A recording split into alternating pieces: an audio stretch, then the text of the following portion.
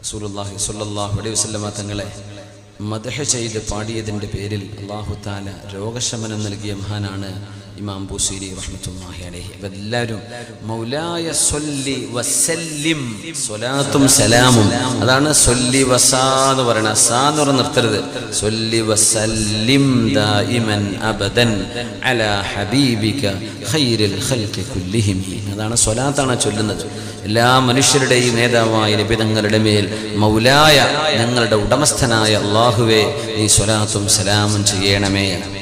എന്താ നബിനോട് നബിക്ക് വേണ്ടി സ്വലാത്തും സലാമും ചെയ്യണേ എന്ന് പറയുന്നതിന്റെ അർത്ഥം? എന്റെ നിബിതങ്ങൾക്ക് അള്ളാഹുവെ നീ രക്ഷ നൽകണേ കരുണ നൽകണേ എന്നായി സ്വലാത്തിന്റെ അർത്ഥം. അതിന്റെ അർത്ഥം എന്താ?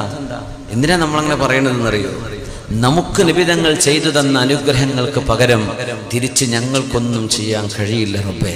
ഞങ്ങൾക്ക് പകരമായി ആ ഹബീബ് ഞങ്ങൾക്ക് ചെയ്തു തന്ന ഉപകാരങ്ങൾക്ക് പകരം നീ റഹ്മത്ത് ചെയ്യണേ എന്നാണ് പറയുന്നത്.